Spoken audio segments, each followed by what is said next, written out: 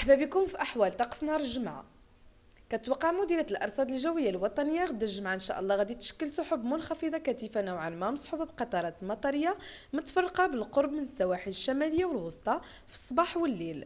كما غادي تمر سحب كثيفة خلال الصباح فوق كل من شرق الواجهة المتوسطية والأطلس المتوسط والهضاب العليا والريف.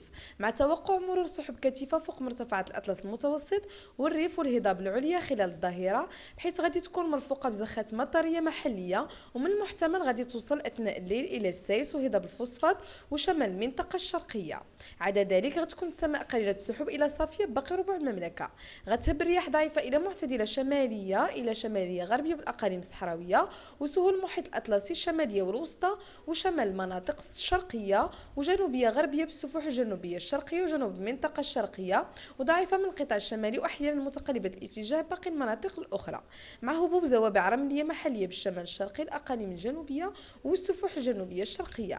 غتروح درجة الحرارة الدنيا ما بين 6 حتى 12 درجة بمرتفعات الأطلس وما بين 13 حتى 18 درجة بكل من الريف والسهول الأطلسية والمنطقة الشرقية وبسوسو غتكون ما بين 18 حتى 24 درجة باقي المناطق.